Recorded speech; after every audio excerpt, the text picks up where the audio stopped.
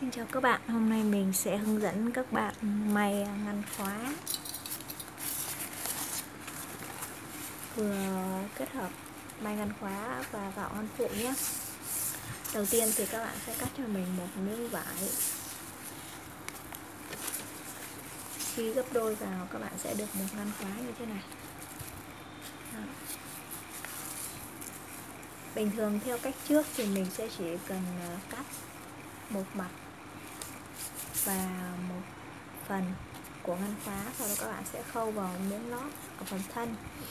Nhưng mà để vừa may được một ngăn khóa và vừa tạo được thêm một ngăn phụ, thì các bạn sẽ cắt hai mảnh bằng nhau cho mình.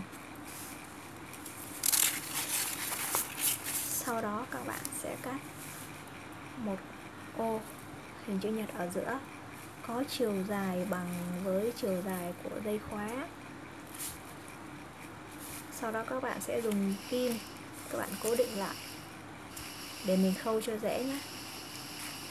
Bây giờ mình sẽ đi khâu.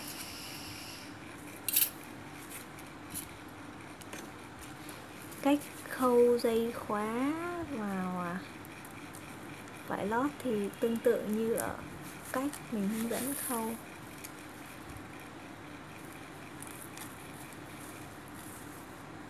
Ở mẫu trước mẫu này mình cũng khâu tương tự giống như vậy.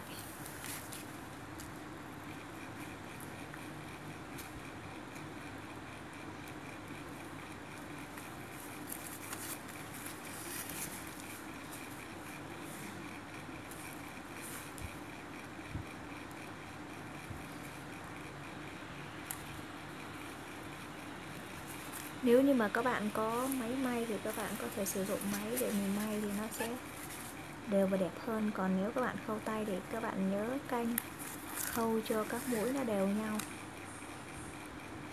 Thì khi mà mình lên mẫu lót thì nó nhìn nó sẽ đẹp hơn.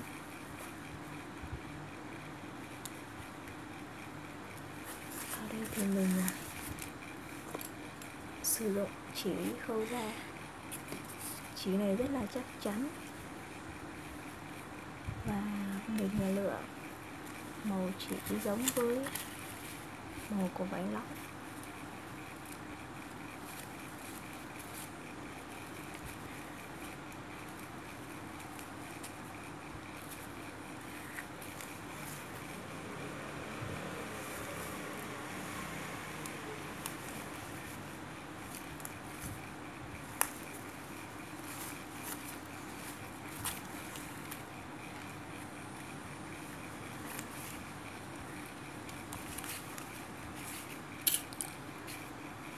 Bạn cứ khâu tới đâu thì mình sẽ rút cái phần kim cố định nó ra. Thì để cái phần khâu của mình nó không có bị lệch và nó sẽ đều và đẹp hơn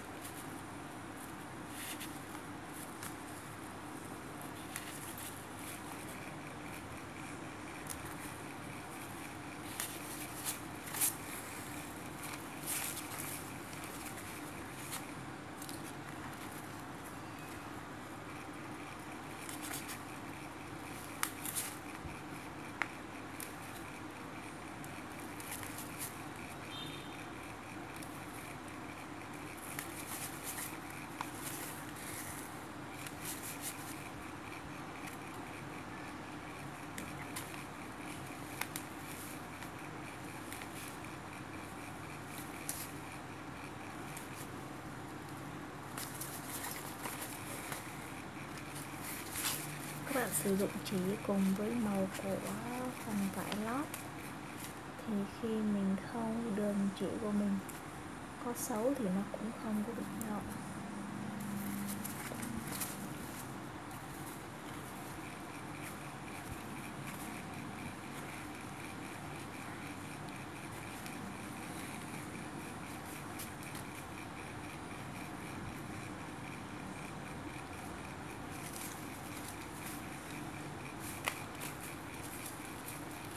tới phần đầu thì các bạn nên kéo khóa đó, mình khâu qua bên kia.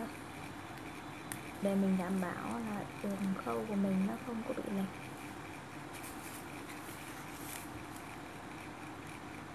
Cố định dây khóa lại.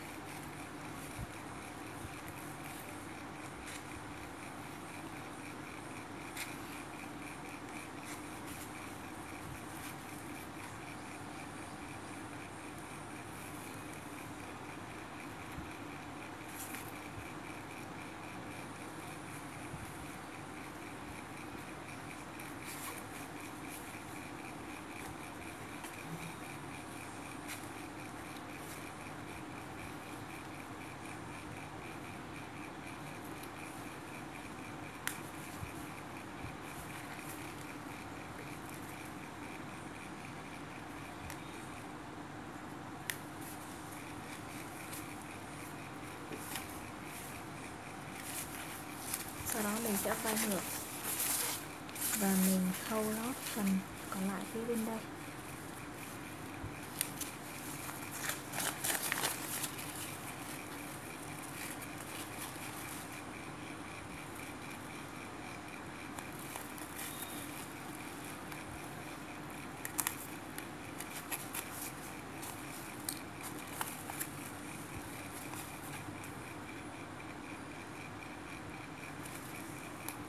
Khâu phía bên đây thì các bạn nhớ là mình sẽ để để luôn cả dây khóa. Mình khâu thì nó sẽ không bị lệch. Để khi mà mình kéo khóa vào, kéo dây khóa thì nó sẽ ăn khớp với nhau.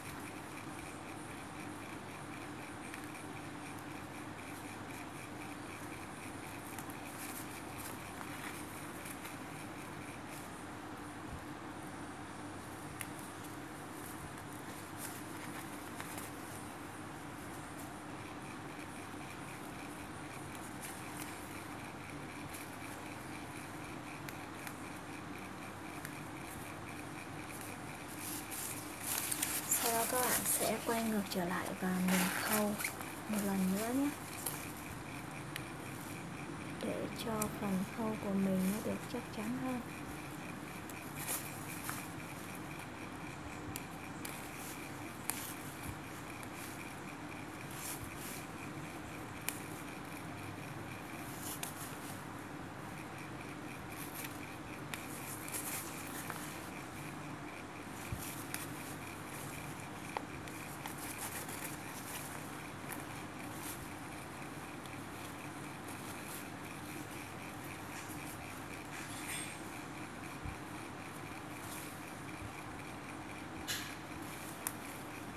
Tương tự như vậy, các bạn sẽ khâu cho tới hết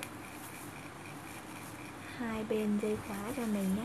Sau đó mình sẽ hướng dẫn các bạn cách khâu ngăn khóa này để tạo thêm một ngăn phụ.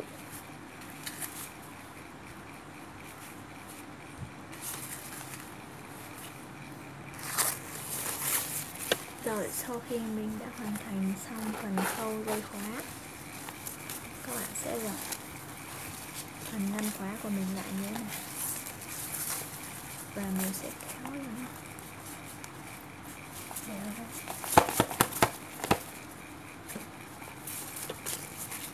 sau đó mình gập lại. Bây giờ mình sẽ khâu lót vào phần thân túi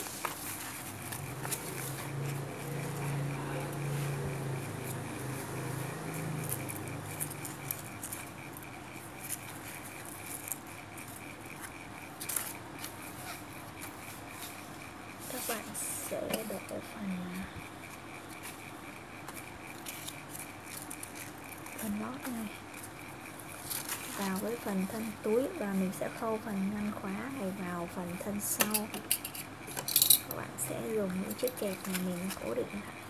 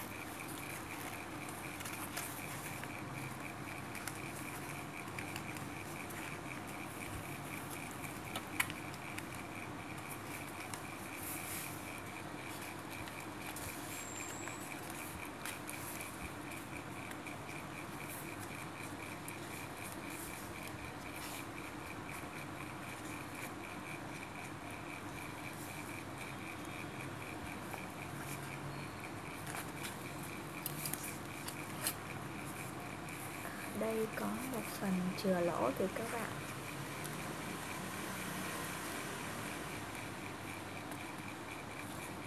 Cứ khâu lót bình thường, sau đó mình sẽ cắt sau nhé.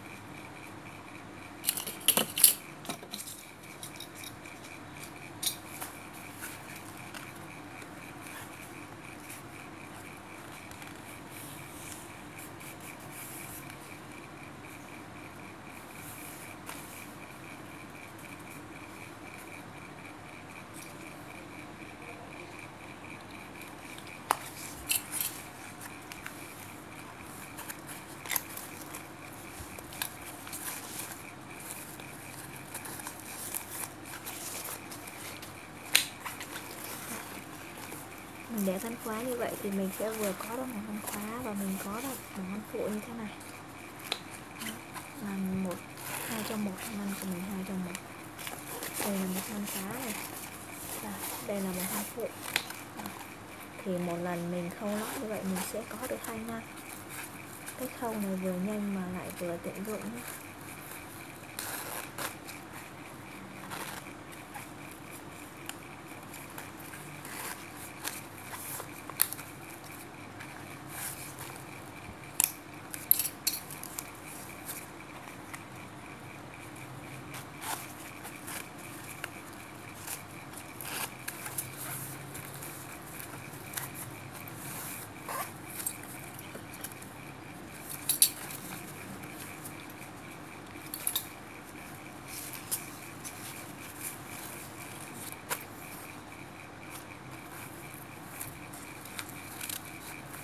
Có hai cách để các bạn đặt ngăn khóa.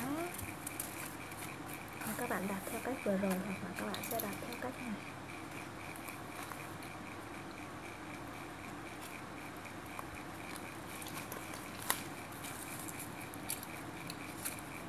Thì tùy theo sở thích các bạn muốn đặt ngăn khóa như thế nào thì các bạn sẽ đặt theo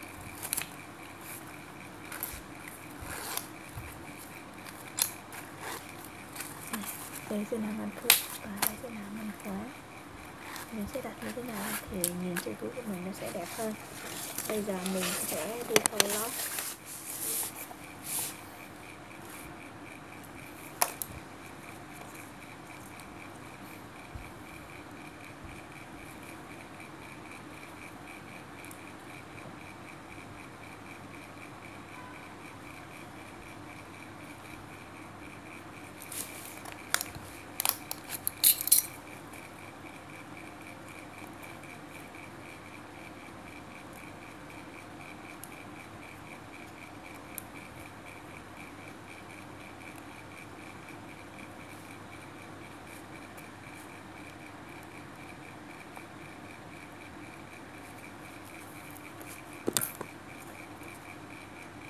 bạn sẽ khâu phần nắp trước cho mình.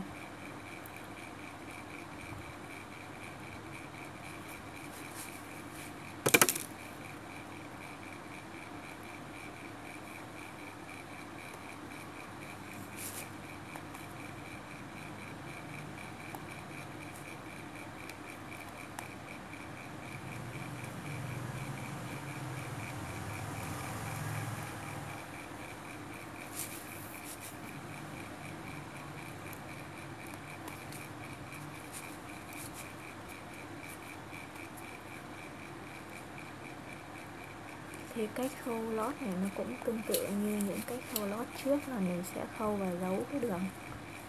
Chỉ khâu vào. Để phần chỉ khâu của mình nó không bị lộ thì phần khâu lót của mình nó sẽ đẹp hơn nhé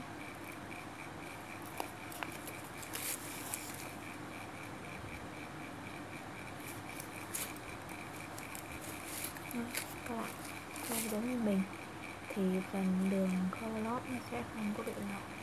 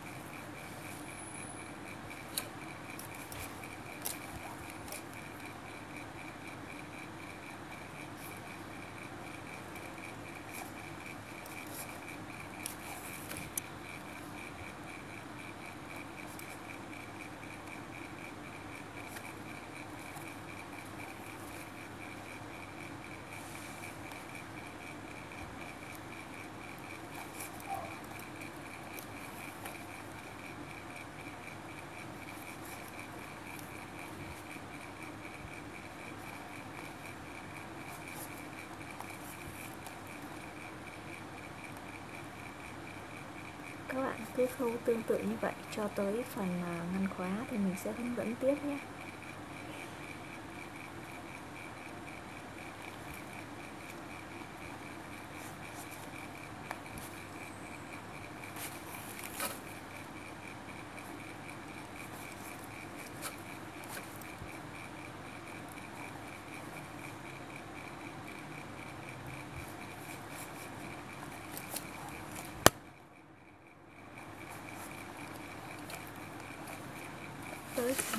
trừ lỗ thì các bạn cũng khô bình thường. Sau đó tí mình sẽ cắt.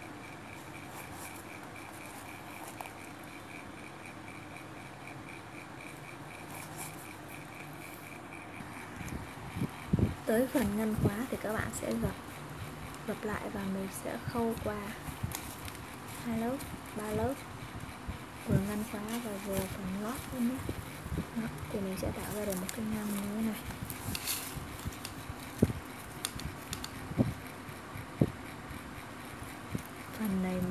Qua ba lớp. Nên phần vải vải lót của mình nó hơi dày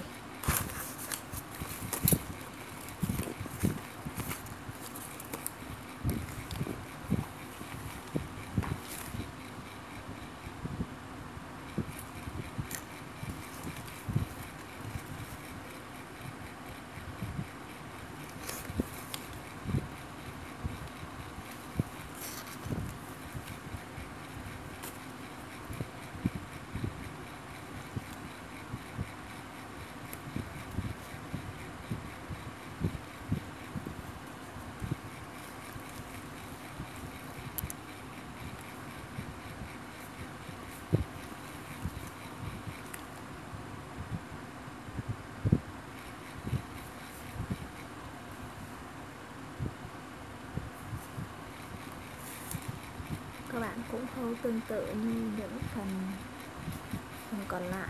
Chỉ khác là ở đây mình sẽ khâu lót qua ba phần lớp. Vải lót hai lớp của ngăn khóa và một lớp của ngăn chính.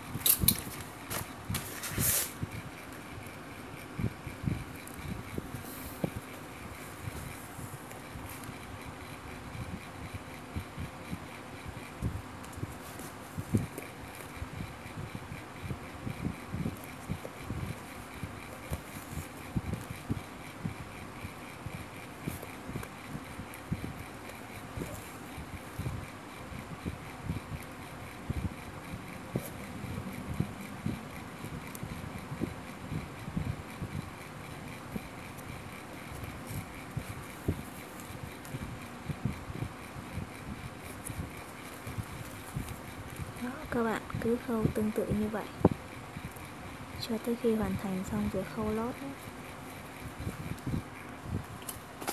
sau khi hoàn thiện xong việc khâu lót thì mình sẽ có được một ngăn phụ như thế này.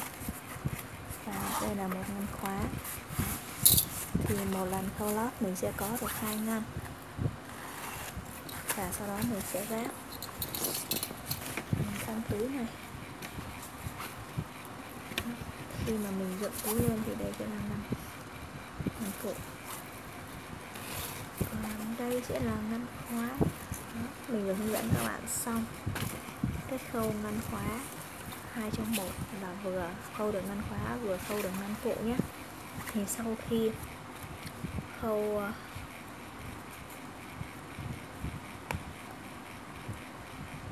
phần chừa lỗ ra như thế này.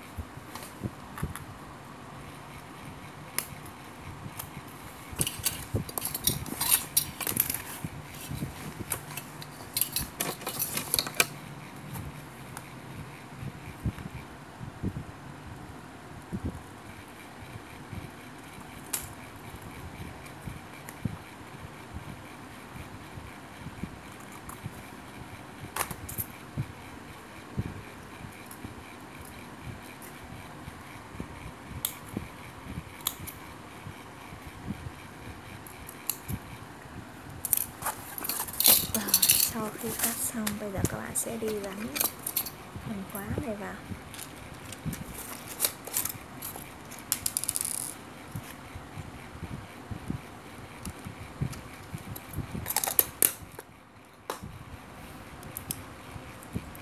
sẽ tháo phần ốc vít này ra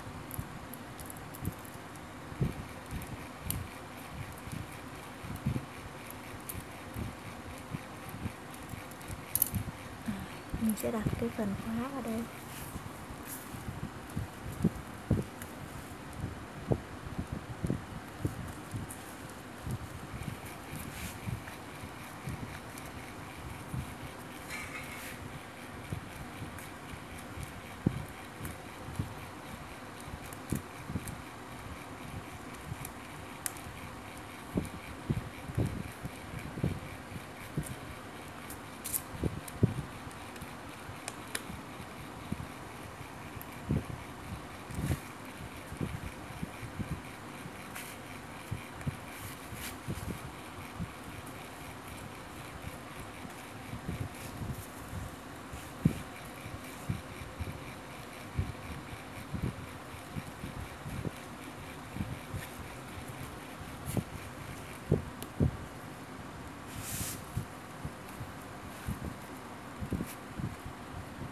Mình sẽ để làm sao cho phần lỗ nó lọt vô trong.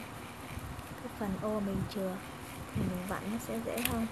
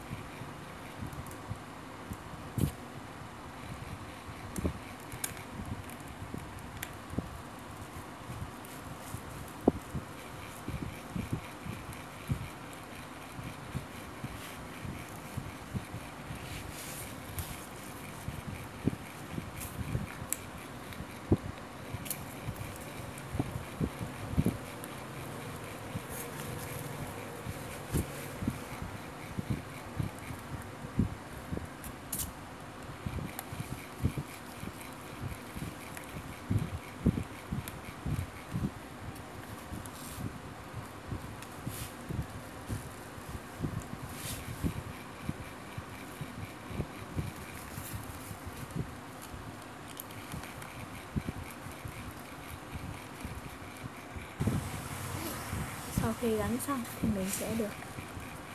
Ừ, cài khóa giống như thế này. Thì khi mà mình gắn thành khóa cài thì chiếc túi của mình nó sẽ có một chiếc khóa cài như thế này.